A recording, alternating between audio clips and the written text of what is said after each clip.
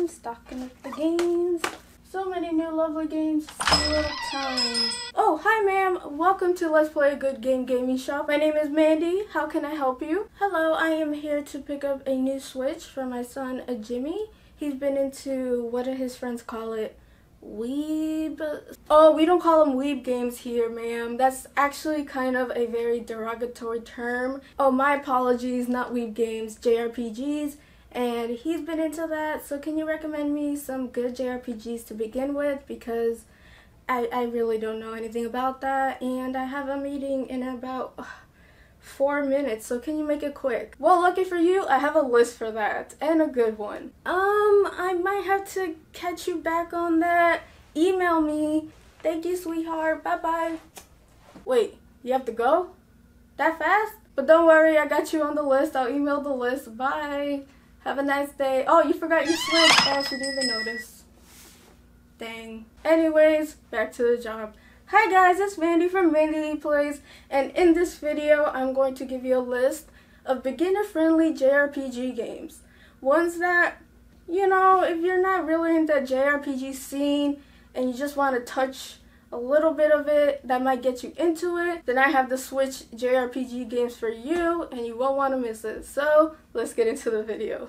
I love JRPGs, they're my favorite genre, but I could see that a lot of people are put off by them because of their length or the story or the complexities of the battle. But I'm here to show you some games that are good if you want to start a JRPG adventure without kind of all the craziness going on or if you're new. Now all these games are for the Switch, but some of them I own as a PlayStation game, but they're on the Switch as well, so no worries about that. So in no particular order, the first one on the list is Bravely Default 2. I picked this game because it is a very classic, turn-based kind of RPG adventure. The story, while there is one, it's not anything grand or adventurous.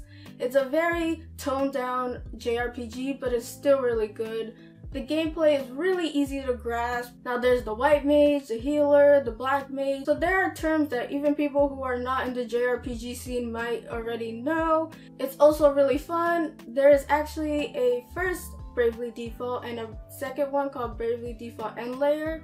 But this one is a standalone title. It has nothing to do with the other titles, so you don't have to keep track of the series of the game or anything like that.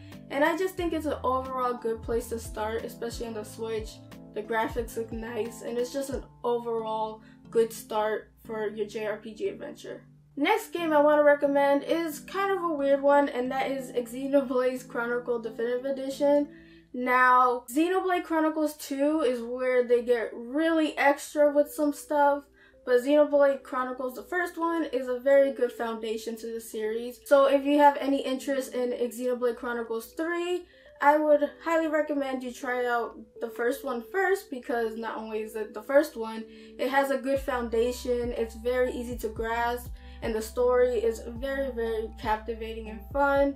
So even though this is the first in a series, I still highly recommend it. Like I said, it's a good foundation for the series to come. And if you love it, then you have two other games down the line to look forward to. The next one is Final Fantasy X. Now, even though you might not really like JRPG and the whole scene, you might have heard Final Fantasy a lot, especially 7.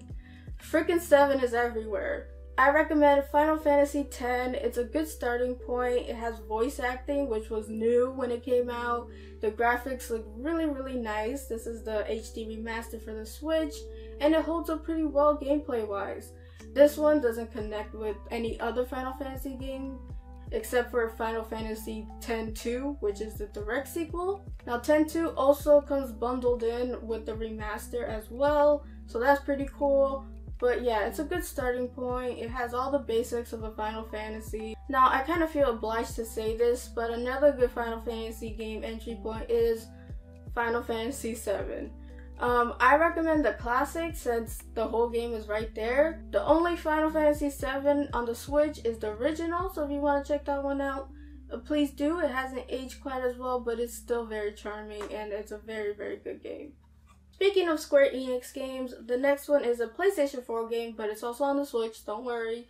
And that is Dragon Quest XI Echoes of the Elusive Age Definitive Edition. Now, the Definitive Edition is in plastic, but I've played the original, and it was actually my first foray into the Dragon Quest kind of games. Now, I'm not really that big of a fan of Dragon Quest, to be honest, because there's a lot wrong with it. But Dragon Quest XI was awesome. The gameplay is a classic turn-based, but with extra charms and moves. The characters are really memorable, except for the protagonist, because he don't talk. And I just really, really fell in love with the world and what they did with it. And it's really easy to get the gist of the game, to get used to the controls and the gameplay.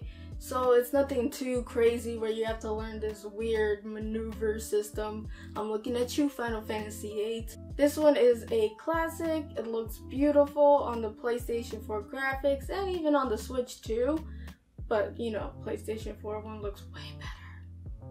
But you didn't hear from me. Anyways, it is a great starting point not only for Dragon Quest, but for JRPGs as a whole. Like I said, it's very traditional, easy to grasp, and fun as well. And the story will have you like, dang, it hits you in the feels when it wants to. so, highly recommend. Alright, so we're nearing the end, but not that end. So I would love to ask you guys, if you like this video, hit that like button. I would appreciate it. Now let's get on to the next pick. And the next game on the list is Atelier Ryza Ever Darkness and the Secret Hideout. This is my gateway to the Atelier series, but as a standalone game it still stands and I loved it so much that I went out and bought mostly all the games in the series. I have a problem. Anyways, this game is so fun.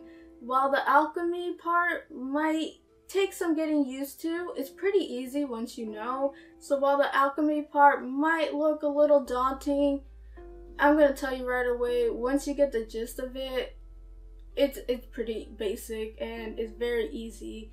And it's actually one of the easiest ones in the series, and I love it for that. But besides the alchemy, the gameplay is super simple. It has this action point turn-based combat and it's good for people who don't really like the turn-based type of combat that a lot of JRPGs have and want something a little bit action-packed or more involved. Never seen it coming! I just had to. Uh, play, please. Yes, Persona 5 is coming to the Switch, and not just Persona 5, the Royal Edition. I played this game twice I played the first one, then the Royal one, and I'm going to play the one on the Switch as well, even though I own it for the PlayStation. Maybe this is why I'm broke.